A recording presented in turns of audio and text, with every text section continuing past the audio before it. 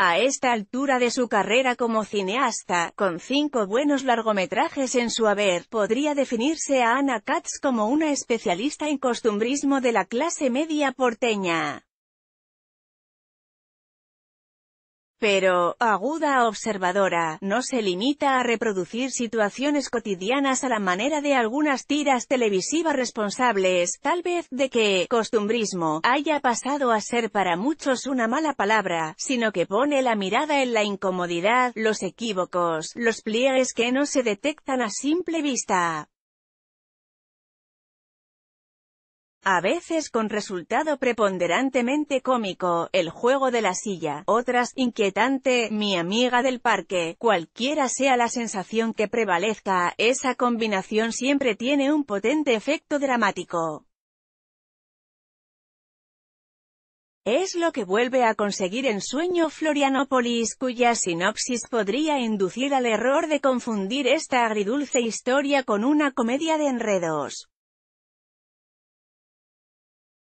A principios de la década del 90, una familia tipo porteña se lanza a pasar unas semanas de vacaciones a la meca del veraneo argentino, Brasil pero los padres se encuentran en vías de separación y los hijos tal vez ya estén demasiado grandes para un veraneo de A4, de movida, hay un enrarecimiento del ambiente que favorece las múltiples lecturas de lo que sucederá, el foco está puesto en los mayores que a los 50 y largos están viendo cómo se apaga la llama de su matrimonio.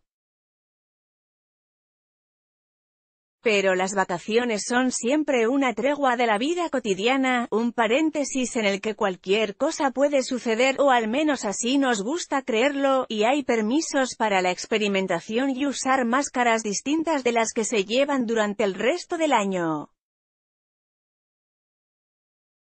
¿Y qué mejor lugar para eso que Brasil, tierra prometida de libertad y espontaneidad tropical?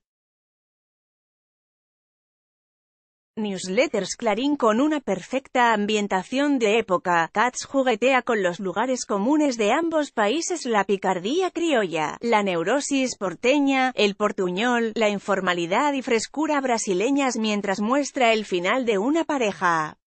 Mercedes Morán y Gustavo Garzón son los intérpretes ideales de este par de psicoanalistas, con su contraparte brasileña y sus respectivos hijos en la vida real Manuela Martínez y Joaquín Garzón como acompañantes a la altura. Los diálogos son tan naturales que parecen improvisados. Pero tal vez lo más importante no sea lo que se dice, sino punto a favor de Sueño Florianópolis lo que se ve y se siente, Sueño Florianópolis, muy buena comedia dramática. Argentina, Brasil, Francia, 2018. 106, Sam 13. De Ana Katz. Con Mercedes Morán, Gustavo Garzón, Marco Rica, Andrea Beltrao, Joaquín Garzón, Manuela Martínez.